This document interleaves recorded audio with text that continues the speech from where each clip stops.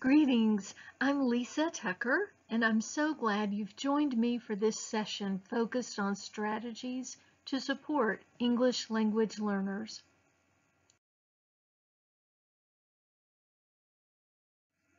As of December 31st, 2021, the Okaloosa County School District had a record-breaking English learner enrollment of 1,503. Our district also serves over 58 languages among our L and non-L students and families, which provides our district with a rich and rewarding cultural diversity. One of my favorite quotes is from author Amy Chua, who asks, do you know what a foreign accent is? A sign of bravery. Our English learners of all ages represent great resilience and emotional strength in their move to the United States. For some, this move has been greatly anticipated and it's filled with the exciting transitions to a new school, culture, and group of friends. For many, however, the move has been traumatic due to political or even personal family issues. For all English learners, the stress of gaining acceptance while learning a new language can provide ongoing challenges. Administrators, faculty, and students are crucial to the support and successful assimilation of ELLs in our school and in our community. For the educator, it's important to remember no matter what content area subject you teach. The English learner is progressing through various stages of English language development.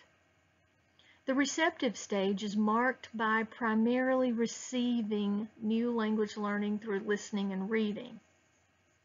The student may experience a perfectly normal silent period while in the receptive stage. This can be very scary for both the new and experienced teacher. It's important to remember the student is still learning during the receptive stage.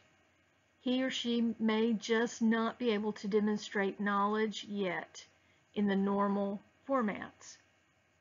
Gestures, illustrations, role play, and other visuals are extremely important for the student as he or she begins to connect academic vocabulary with context. The productive stage is typically slower to develop as the student begins to build confidence and competence in speaking and writing. On this screen, I have attempted to illustrate the difficulties and the opportunities embedded in balanced literacy for ELLs. English language acquisition involves speaking, listening, reading, and writing development, while academic achievement is also an equal focus, building content area vocabulary, providing comprehensible instruction, adhering to the English language development standards that our state adopted in 2014, and providing frequent and fair assessment. While a perfect balance cannot be achieved every single day. This is the goal for which we strive.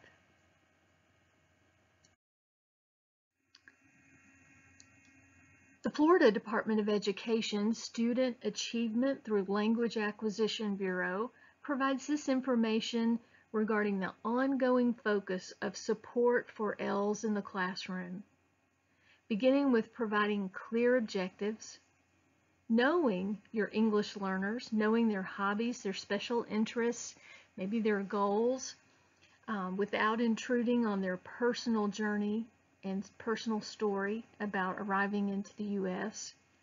Providing feedback both to the student and the parent with affirmation about the student's progress no matter how small. Modeling for the student in the classroom both uh, teacher modeling and small group modeling, which leads us to the important reminder of inclusion in cooperative learning opportunities.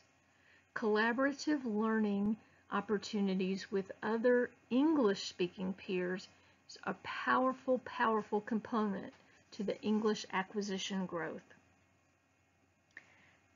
Providing non-linguistic representations is essential. Both the illustrations, infographics, role play, demonstrations, all of these things help build the foundational connections between new language, new words and sounds within their context. As educators, we have the exciting and rewarding privilege of welcoming and modeling respect and value for our English language learners. Never underestimate the, the vast importance of a welcoming classroom. Many times as educators, we see so many of the problems or hindrances within the uh, building of academic content for English learners. It, is, it can be time consuming and it can be very daunting. We hope today to focus not on the problems, problems perhaps with uh, curriculum limitations or technology limitations, staffing limitations, or even legislative issues, but we hope to focus today on the possibilities. Rather than admiring the problems, let's look at the possibilities each of us have in our individual classrooms, regardless of the subject area we teach.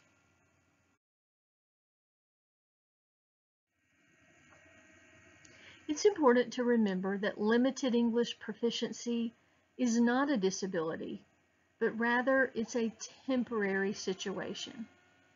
ELLs need time to develop language skills in order to achieve competency in academic tasks. And what teachers do during this process is a significant impact on student motivation and self-confidence. Not all students will progress or acquire English at the same rate.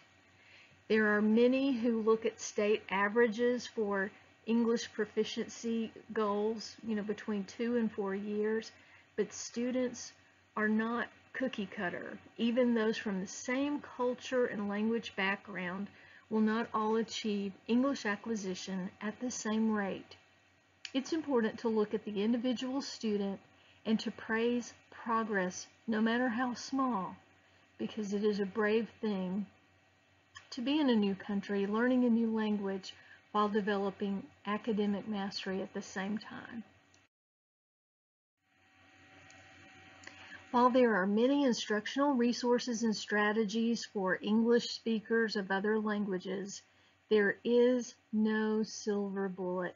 There is no magic solution for accelerating the English acquisition process for K-12 students in a healthy way it is very important to communicate the individual rates of time that students will need to gain confidence and competence while developing English fluency.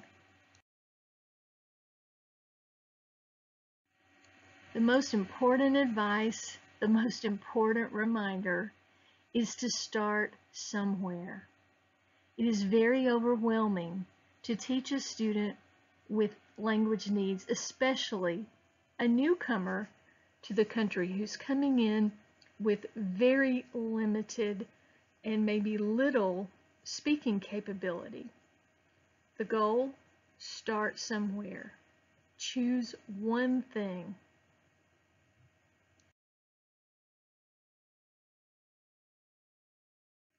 And in starting somewhere, you'll find you're making a difference by following these four reminders, making it visual, reducing linguistic complexity for that newcomer as many times as you can, adapting instruction, remembering to repeat and to be flexible in the types of feedback that the student can provide to show mastery, supporting the home language with the tools you have.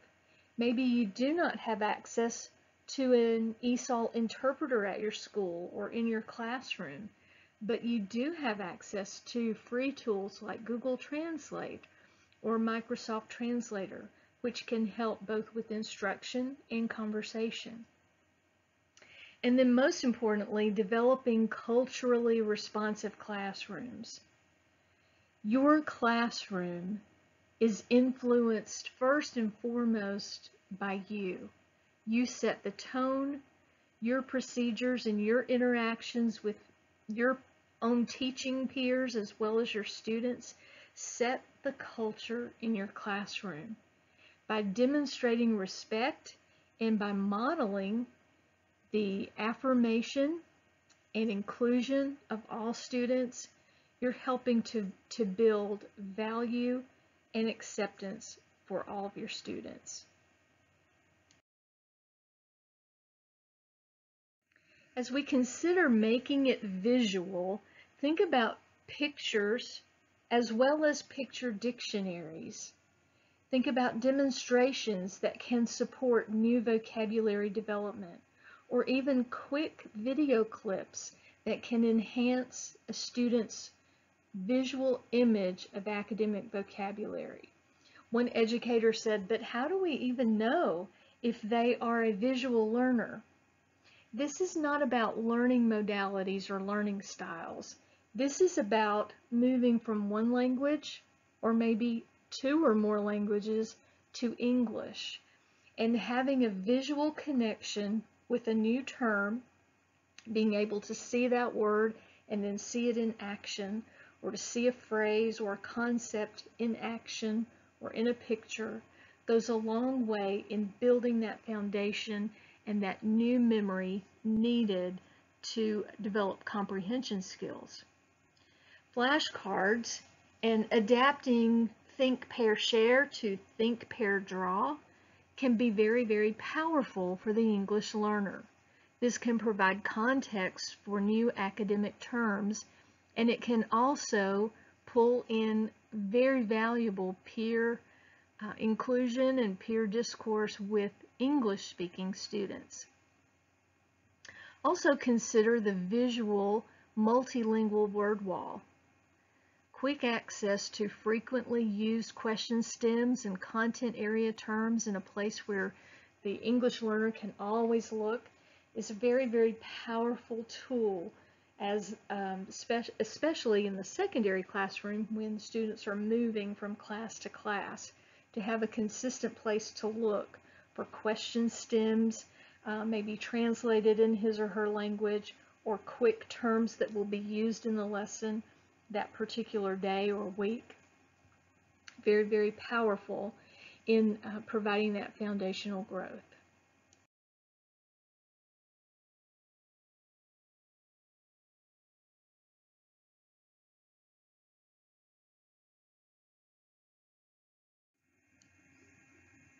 As we consider supporting the home language, the content area glossary and the word-to-word -word dictionary, both of which are allowed on state testing, should actually be used in the classroom frequently, but we should not just issue the glossary or the dictionary to the student and let that be it. We need to model the use of that glossary and dictionary more than one time. We need to, to model the use of those tools throughout the school year and certainly not just at testing time. Some of the most successful English learners that I've met in the high school level um, are those who use their content area glossary daily. Many have achieved already Tier C, the highest um, tier of English proficiency, but they continue to use these tools because they're developing word choice, they're developing um, spelling, they're deepening their understanding of different ways to use words in different contexts, different academic settings for words. So these are powerful tools, but they need to be modeled for the student. Google Translate and Microsoft Translator are online translation tools that assist in supporting the home language. And you can use these with an iPad, laptop, or Chromebook. With Google Translate, the iPad camera can be used for instant document translation for audio, conversation mode, as well as text mode. And I regret that we're not in person today so that we um, could actually practice this, but I look forward to opportunities to work with you in your schools and demonstrate how powerful these tools can be. The Google Translate Chrome extension is a free tool that is very easy to embed to translate an entire website or web page. And Microsoft Translator is automatically embedded in Word, PowerPoint, and Outlook email for translation. I'm going to show you how you can use these tools uh, later in the presentation. Our ESOL interpreters, um, for the majority, are rotating in push-in support for classroom instruction. For those of you with high populations of ELLs in your school, you probably don't have enough ESOL interpreters to make it to every classroom every day, but they are prioritized by the administrators on staff at your school to support the Tier A students, the students at the lowest level of English proficiency. So if your school does not have an interpreter, remember you still have access to our phone-based language interpretation service for help with both student conferences, parent conferences, other language needs. That service is um, funded through our Title III project. And if you need access, you can certainly speak to your school counselor or you can contact me by email and I'll be glad to help you out with that. It's a powerful tool to help, especially um, with the, the languages that are infrequently spoken among those 58 languages that we serve.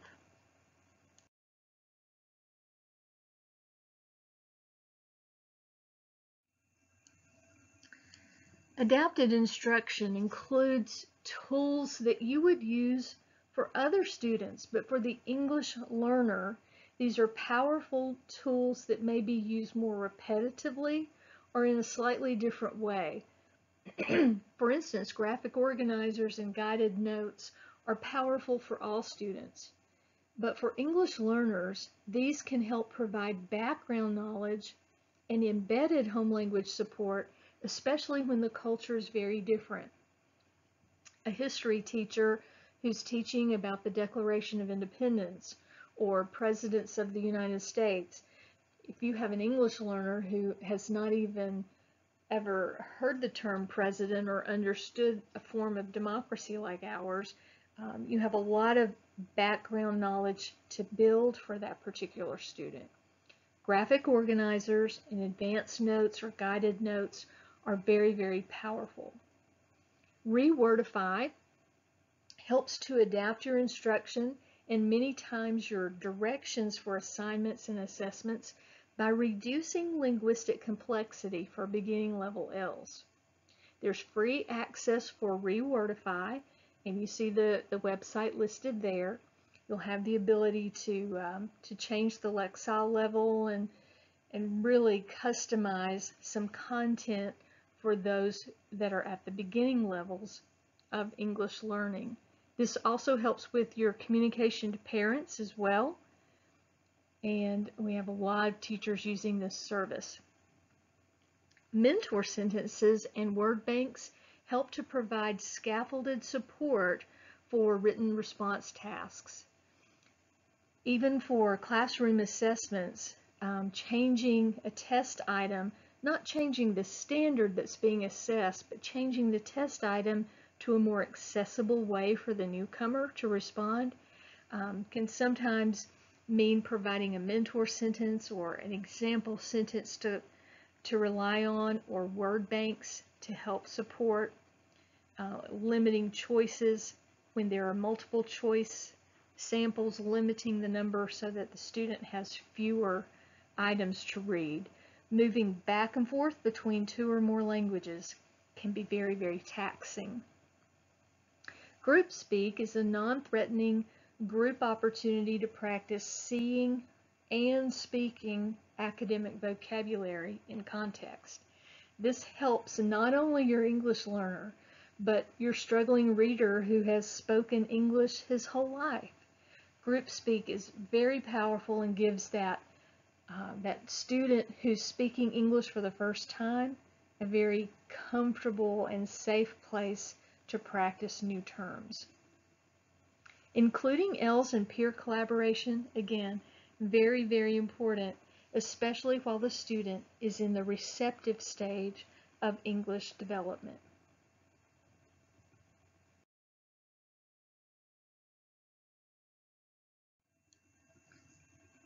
Adaptive instruction also includes frequent repetition, adjusting questioning techniques and providing frequent and informal checkpoints throughout instruction, and modeling sentence structure, being sure to avoid overcorrection of a student's verbal responses.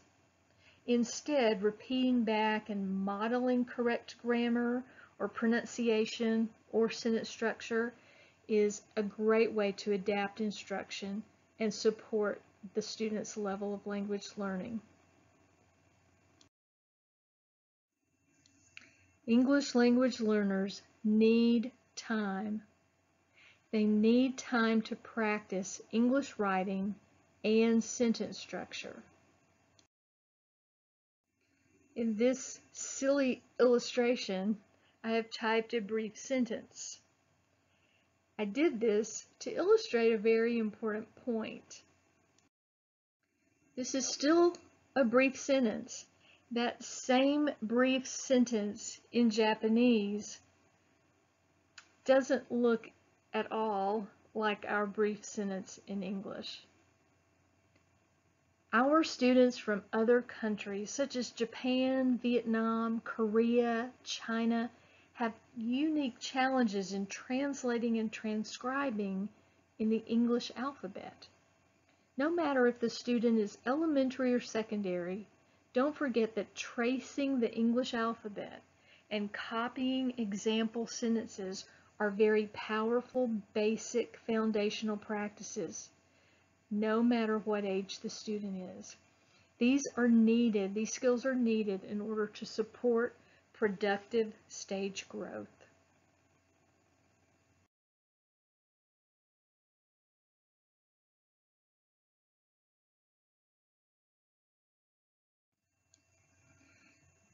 Very quickly, to illustrate how simple it is to translate a PowerPoint slide into another language, I'm providing these screenshots as examples you can see at the top of your slide um, a, a ribbon that goes right across, a ribbon menu that goes across your page.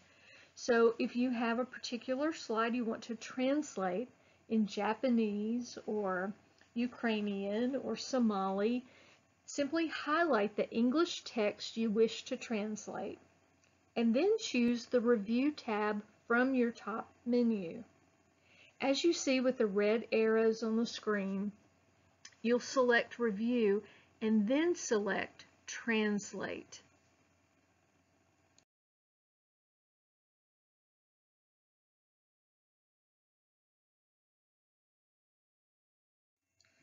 When you've selected Translate, the Translator menu will appear on the right side of your screen. As you see with my red arrows, You'll use the drop-down arrow to select the desired language for translation. Make sure that you've set it to go from English to your desired new language. Then you'll select Insert.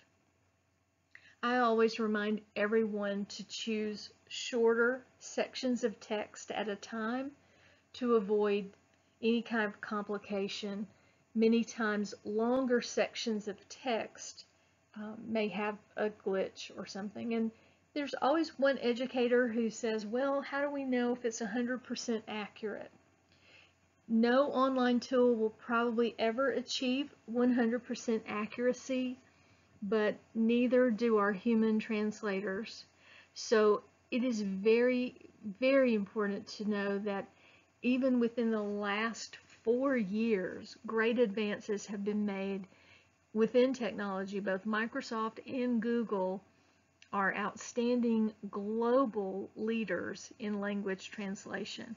So they have improved um, a trillion fold even in the last decade.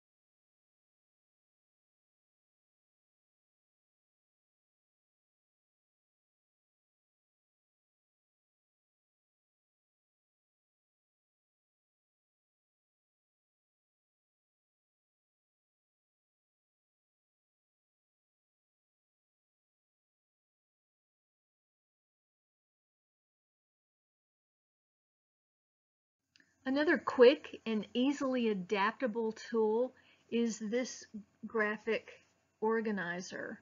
There is a clean copy available on our district website, ESOL website, but this simply shows how um, powerful this could be to collect one of these each class period or one a week or more than one if you have lots of academic vocabulary you're introducing. It provides a one-pager with the English phrase or academic term, the home language translation, a mentor sentence or context example, and then um, a visual. Many teachers like to use graphic organizers in which the last component or the last square is an opposite or an antonym and that's not advisable with L's simply because they're at a very visual stage of language learning. One illustration was a third grade student from Japan who was learning a multi-syllable word and that happened to be the word beautiful.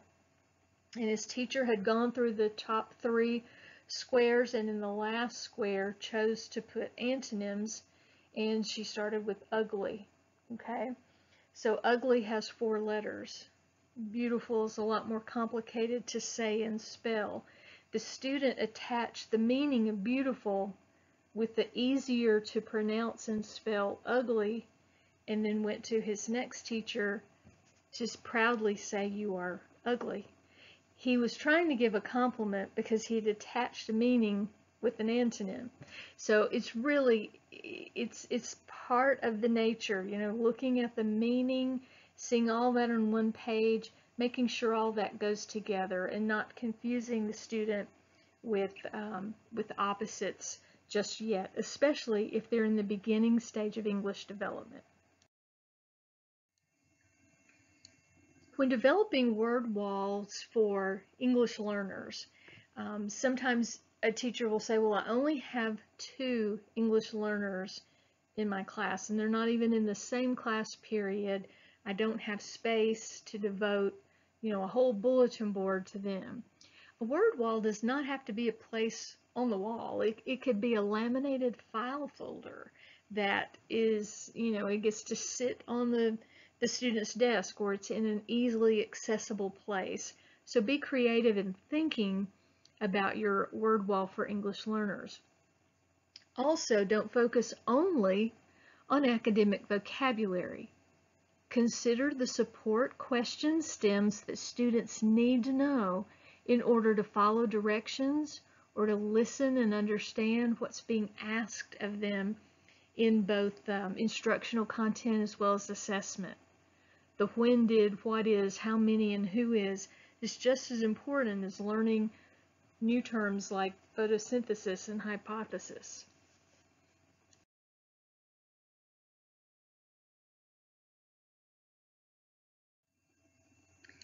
Developing cultural competency includes modeling and expecting respect. This many times begins with learning how to pronounce a student's name. Sometimes that can be a struggle, especially for a busy teacher with uh, 28 other students in her class starting with the student's name and modeling and fostering acceptance by promoting partnership in helping new students as they're in the process of acquiring English goes a long, long way. Not just assigning the student a peer buddy, but really modeling and varying the peer collaborations within the classroom. When we include ELLs in peer collaboration, it is important to prepare groups to accept them, to understand that Zishuan is really, really smart. He just doesn't speak English yet. He may not be able to write in English yet, but he's listening. He's learning to listen in English. Um, empowering English-speaking peers to, to take partnership in the support of ELLs by drawing pictures to support during group learning. To understand that because the student is quiet does not mean um, that he's not friendly. It just means he's still in the process of learning the language. eDiplomat.com is an excellent free resource to reading about cultural etiquette um, just to build awareness for both you and and your students. And it's a great tool to prep you before your first parent-teacher conference, uh, especially when you have some unique cultures and languages represented in, in your school roster.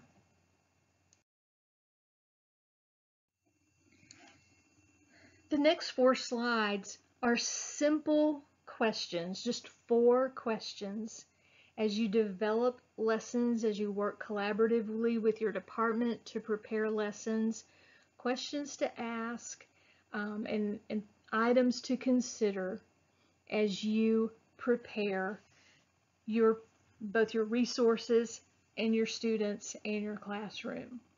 The first question is in regard to the resources you have to support home language. Would that be a bilingual dictionary, a content area glossary, do you have an iPad or Chromebook for Google Translate or other translation tools? Is there an ESOL interpreter at your school who supports or another paraprofessional who speaks the student's home language?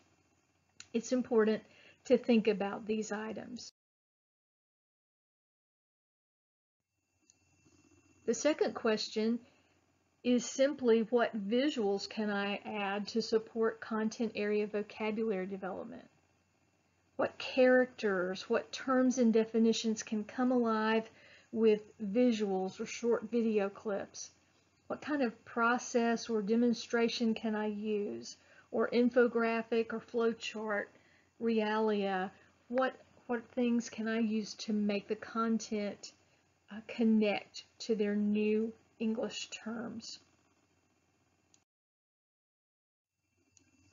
Third, where and how can I reduce linguistic complexity?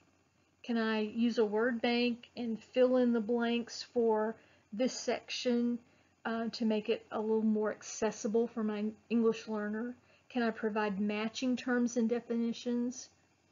What about on an assignment, um, you know, what types of mentor sentences and sentence frames can I supply to help the student understand the, the sentence structure and the expectation of the written content?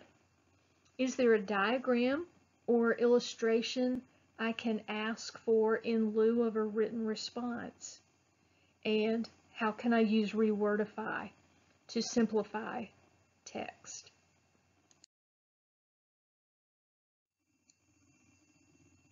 Fourth question, how can I enhance content area vocabulary? Is there a place where I need to provide or activate prior knowledge? Is there a graphic organizer I can adapt that will help with content area vocabulary support? How can I prepare my small groups for English learner participation? How can I build respect and cultural responsiveness within my English speaking students? How can I include ELLs in small groups to hear peer academic discussions? How can I employ group speak? And in what ways am I using frequent repetition of key terms in my classroom? Each of these things will help more than just your English learner.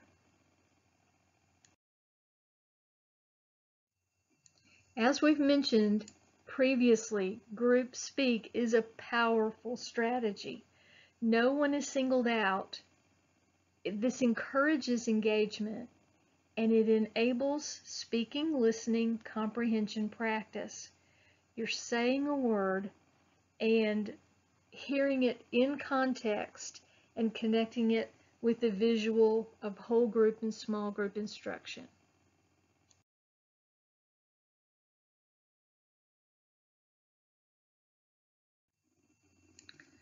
All across the curriculum, we have these common goals. For the English learner, they need opportunities to hear language. They need to see new terms. They need opportunities to say new language, to write new English words, and then to connect those words with meaning. All of these things put together mean language gains equaling learning gains.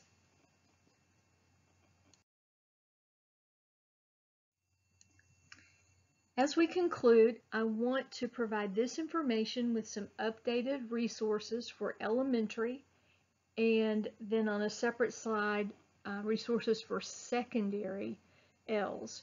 For elementary, we have Mango Languages for grades 3 through 5. That's to build English acquisition. We have Spanish English bilingual books, free PDFs for download available on our district ESOL website.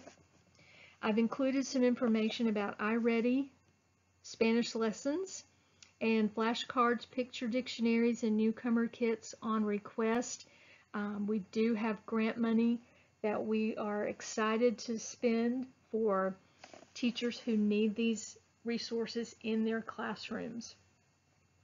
WIDA practice activities are available. No WIDA account is needed. These are not secure testing things. These are free to anybody with an internet um, access and so this link takes you straight to those grade level specific practice activities which can be adapted for use in your classroom, especially your ELA classroom.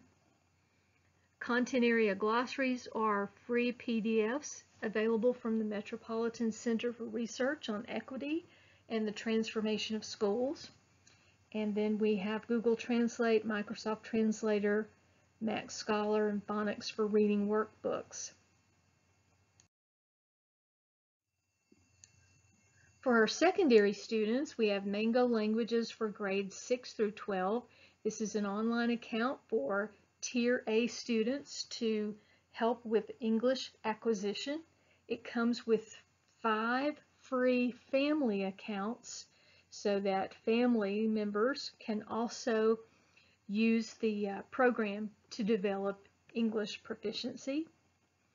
Edmentum L Foundations is used in the Developmental Language Arts class or intensive reading classes, um, schools where administrators have requested these. Sometimes it's part of the SPP, but any teacher of developmental language arts or intensive reading can certainly inquire about these accounts to support Tier A beginning level students. Voyager Language Live is an online support for high school developmental language arts classes. BrainPop for ELLs is available and iReady, I've listed some links there about the Spanish lessons that are available. There's a limited number of those but you'll see um, for math, there are some lessons for K-6, which would include some of our middle school students. We do have flashcards, picture dictionaries, and newcomer kits available on request. Simply email me if that's something you would like to have in your, your classroom. WIDA practice activities, which I mentioned on the elementary slide. That link is available for you too. Goes all the way through grade 12 with grade level specific activities. The content area glossary link is there as well as a reminder of Google Translate and Microsoft Translator.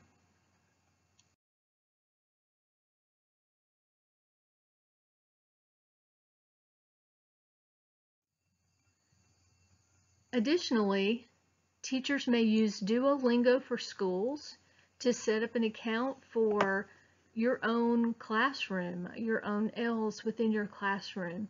Simply use that link and follow the online screen directions to set up a class with the interface directions in the student's home language.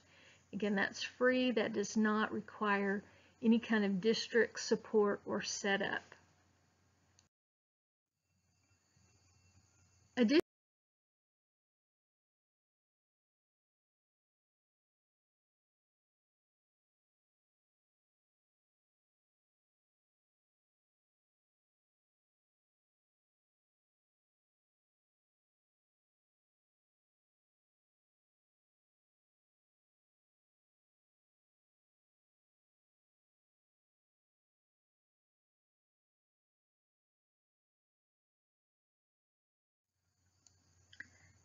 For parents and staff, Duolingo.com is free. We can uh, remind our parents and families of ELLs that they may sign up at Duolingo.com. All it requires is an email address.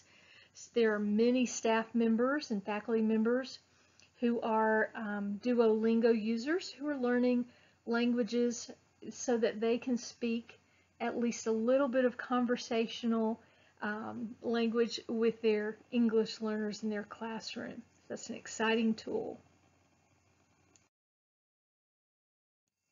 We do have Title III funds available for before and after school tutoring for ELLs. Also, this funding can help support ELL parent nights if you have an, uh, a need to, to have a group meeting of your ELL parents and you need an interpreter we have funding where we can support that.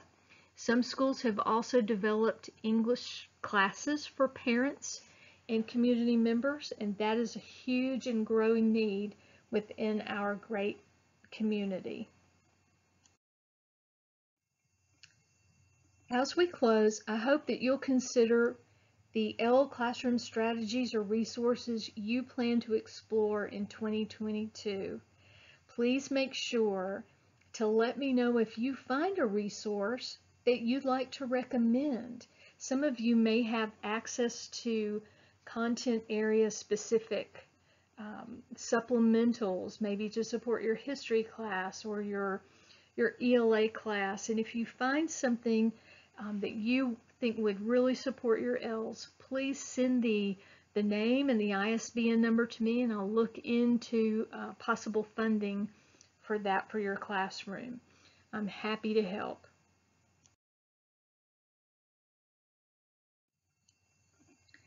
More than anything, I hope you'll remember how valuable you are in creating a safe place for English learners. We can't do everything, but you are starting somewhere with something to make content comprehensible for these wonderful students who are joining our community. You are changing the world, and I'm happy to serve with you. Thank you.